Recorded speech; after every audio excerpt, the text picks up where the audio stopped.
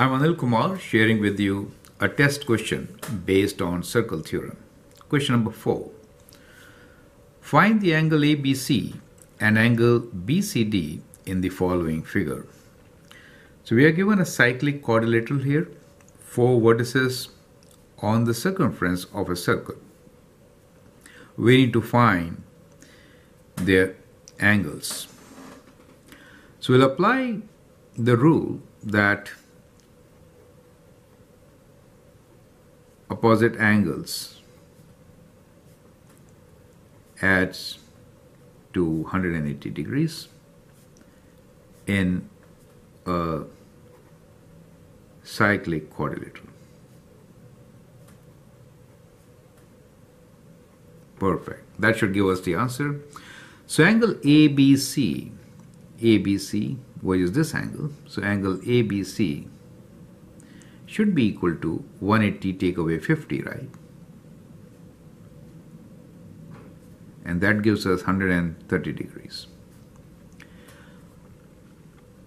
Now to find the angle BCD, BCD that means this angle, we know we are given a linear equation here which is 3y plus 6 and the opposite side is I mean these we are talking about now they should add up to 180 so 3y plus 6 plus 2y plus 14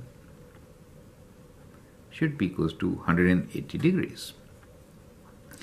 3 plus 2 is 5 so 5y plus 6 plus 14 is 20 equals to 180 degrees.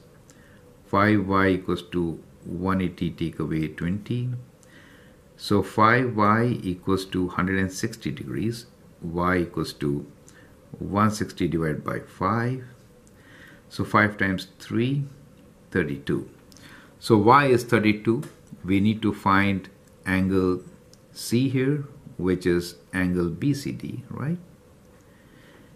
3y plus 6, 3 times y is 32, plus 6, and that gives you 3 times 2 is 6, 96 plus 6, and that is 102 degrees, right? So this is 102 degrees.